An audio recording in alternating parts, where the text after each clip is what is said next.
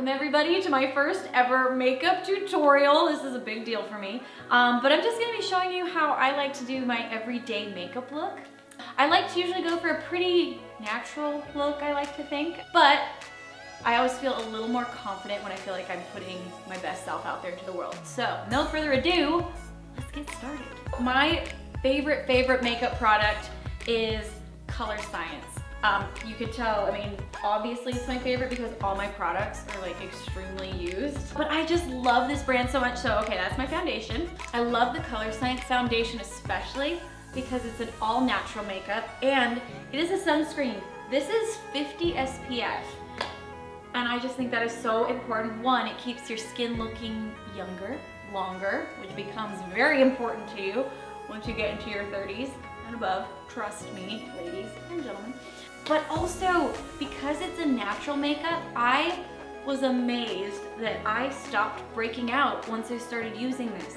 I have had acne my entire life, and I really think that I was breaking out because I was putting cheap makeup and cheap foundation on my skin every single day. And so by being kinder to my skin and just putting natural products on it that aren't like clogging my pores, it's been amazing. I did not expect that when I started using this makeup, that it would actually make my skin clear. The fact that at the beginning of this video, I was wearing no makeup, um, I don't think I would have had the confidence to do that several years ago because I would have had, um, because I had a lot of acne. Now I'm gonna do a lovely contour with uh, the Tan Colorescience Foundation. Oh dear, oh I wasn't looking, I was talking. Oh gosh, okay, like I said, this is my first makeup tutorial ever, but I'm just gonna kind of powder it. Oh, it's way too much. You know what? The lesson to be learned here is that anything is fixable. So I put on a little too much. Oh dang, I got more. What is this, a comedy routine or a makeup tutorial? Okay, um, uh, it's all over my hands. Um, yes, I'm a professional at a lot of things in life. A makeup artist is not one of them, but you know, it's, it's amazing. I do my own stage makeup actually for every show. So I've had to learn how to get good at doing makeup and I've been told go up. So if you do too much like I did, just use a little bit of your foundation or a powder to kind of blend it in. It kind of just buffers the whole thing.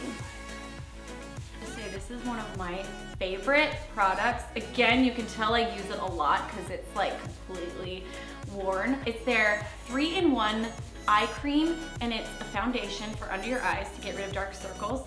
It's also got products in it that act as a sunscreen as well and it's renewal therapy. So there is product in here that actually helps your skin rejuvenate because underneath the eyes is where all us ladies, especially, struggle a little bit. And that's why people make the comment, oh, you look so tired. And I just want to say, oh, you, you're mean. I need to come up with it better. Okay, it makes you look more awake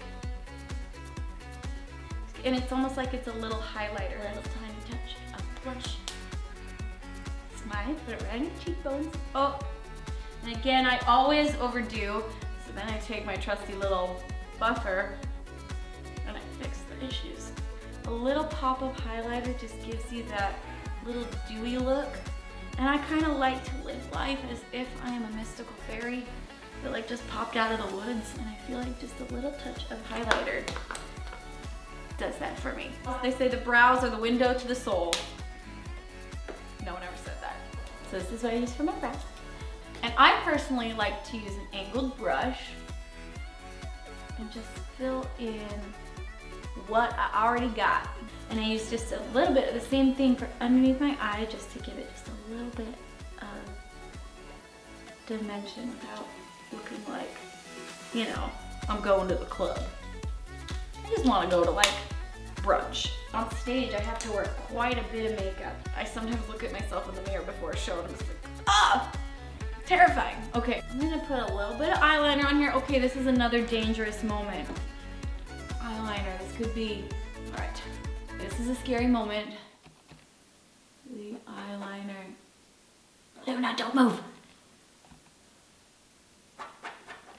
Oh, she's gonna mess me up. So because my eyes are angled slightly down, not like crazy, but just a little bit down, I like to make the eyeliner go just a little bit thicker as it gets to the outer edge of my eye, and then I like to pull up in a slight little wing, and it just makes my eyes look more awake. And I usually figure out the angle of the wing with my eye open, and I make a little dot at the part where I want it, and then I close my eye to connect to the dot. A lip! I can't do it.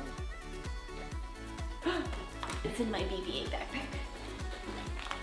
So, this is my favorite lip gloss. I feel like it's appropriate for if I really want to get dolled up or even if I just want to look like I've had it, you know, woke up like this look, you know. But this color is Rose.